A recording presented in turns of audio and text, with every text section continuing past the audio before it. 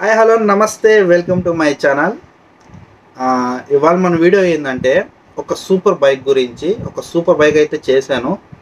దాని గురించి ఈ వీడియో మీకు ముందు ముందు ఒకటి రెండు వీడియోస్ ఒక మంచి వీడియోస్ అయితే వస్తాయి.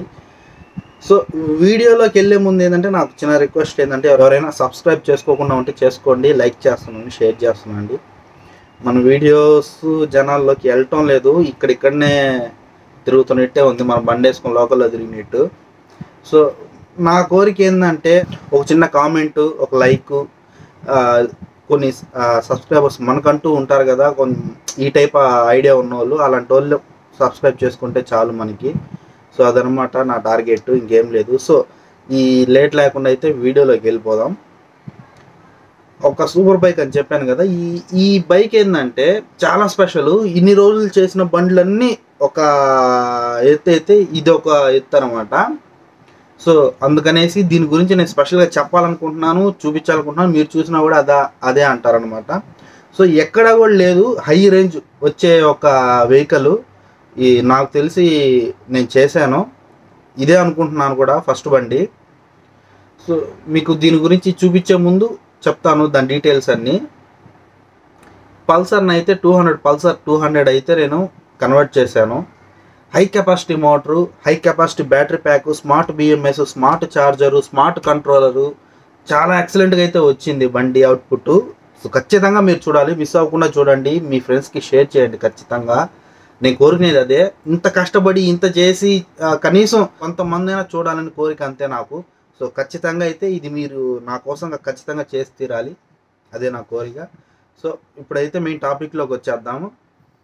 ఒక two Pulsar old model two hundred అయితే చేయించుకున్నారు. మంచి బడ్జెట్ అయింది. అట్లాగే అవుట్పుట్ కూడా మంచిగా వచ్చింది. ఒక సూపర్ బైక్ అనుకోవాలి. సూపర్ బైక్ ఎందుకంటే అంటే సూపర్ అనే దానికి హండ్రెడ్ పర్సెంట్ న్యాయం చేస్తుంది ఈ బండి అయితే. ఏదో ఇది సూపర్ ఇది సూపర్ అని చెప్పడం కాదు.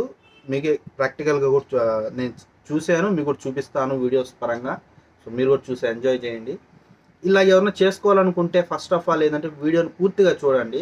దీంట్లో వాడిన మోటార్ వచ్చేసి three kilowatt motor. Speed వచ్చేసి మీకు one thirty twenty five one twenty five అయితే గ్యారంటీగా వెళ్తుంది. One thirty one twenty five ఒకసారి నేను చెక్ చేసి మా తగ్గించేసాను ఎందుకంటే మన కస్టమర్కి అంత స్పీడ్ అవసరం లేదన్నారు. అంత పోవడం వల్ల కూడా పవర్ లాసులు తప్పితే ఏమి ఉండవు. అంటే అంత అవసరం లేదు కూడా.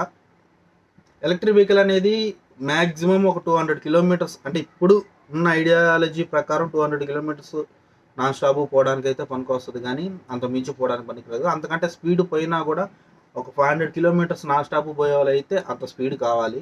దీంట్లో అంత ట్రావెల్ చేసి ఛార్జింగ్స్ మీకు ఒక ఎలక్ట్రికల్ వాడే ఎలక్ట్రికల్ బైక్ వాడే వాళ్ళకి అయితే అర్థమవుతుంది స్కూటీస్ కానీ బైక్ కానీ.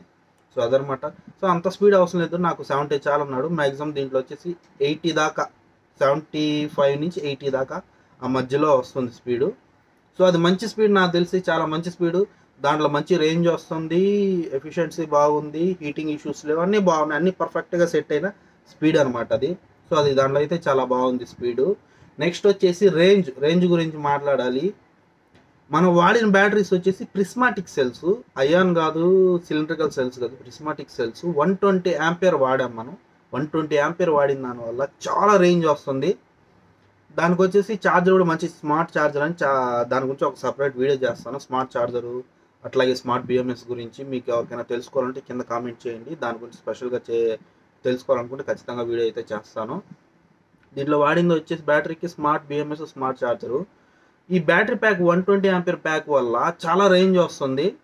మీకు రేంజ్ కూడా నేను ప్రూఫ్ ముందు ఒకసారి నేను చూపిస్తాను ముందు వీడియోస్లో. ఒకసారి కస్టమర్ కూడా తీసుకెళ్ళి చాలా రోజులు అవుతుంది ఇప్పుడు. ఆయన ఇక్కడ నుంచి దాదాపు రెండు వందల ఎనభై ఐదు ఎనభై ఏడు కిలోమీటర్లు వెళ్ళాక కూడా ఇంకా ఛార్జింగ్ ఉన్నింది. అది ఆయన మాటల్లోనే విన్నాము. అది కూడా నేను ప్లాన్ చేస్తాను తొందరలో. సో అది అన్నమాట విషయము. బ్యాటరీ బ్యాక్ వచ్చేసి ప్రిస్మాటిక్ సెల్స్. చాలా లైఫ్ వస్తాయి. ఒకసారి ప్యాక్ చేసుకుంటే మర్చిపోవచ్చు. బ్యాలెన్స్ తప్పడం అలాంటివి అయితే అస్సలు ఉండవు. అంత ప్యాక్ కదా. బ్యాలెన్స్ తప్పి కొద్ది రోజులకి ఏమైనా వాడకంలో బ్యాలెన్స్ తప్పే అవకాశం ఉంది కదా అంటే అవకాశం లేదు. దాంట్లో స్మార్ట్ బిఎంఎస్ వాడింది. స్మార్ట్ బిఎంఎస్ అంటే బ్యాలెన్స్ తప్పనీయకుండా ఇన్- ఇంటర్నల్గా అదే అదే బ్యాలెన్స్ చేసుకుంటానే ఉంటుంది. ట్వంటీ ఫోర్ అవర్స్ ఆన్లో కానీ పెట్టినాం అంటే మనం.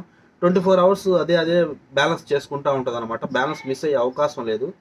ఒక వన్ మిల్లీ వోల్ట్ తేడా వచ్చినా కూడా ఎక్కువ దేంట్లో ఉందో దాన్ని తీసి తక్కువ దాంట్లో అప్పటికప్పటికే వేసేస్తుంటుంది కాబట్టి పెద్ద వేరియేషన్ వచ్చేదాకా కూడా అది గమ్ముగా ఉండదు అనమాట సో అది స్మార్ట్ బిఎంఎస్ దాని స్టేటస్ మొత్తం మన ఫోన్లో చూసుకోవచ్చు.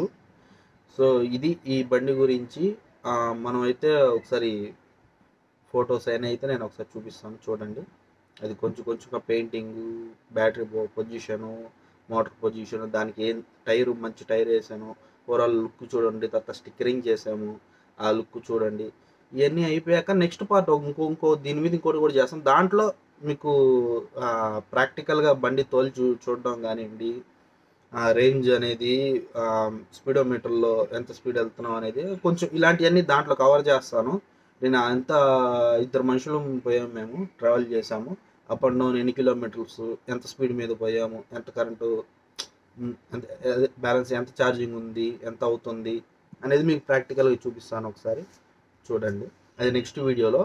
ఇదైతే చూడండి ఫొటోస్ కొన్ని ఫొటోస్ తీశాను బండివి మంచిగా అవుట్పుట్ అయితే చాలా బాగా వచ్చింది. బండి చాలా బాగుంది. స్టెబిలిటీ కానివ్వండి ఎక్సలెంట్ ఉంది అసలు. సార్ చూడండి.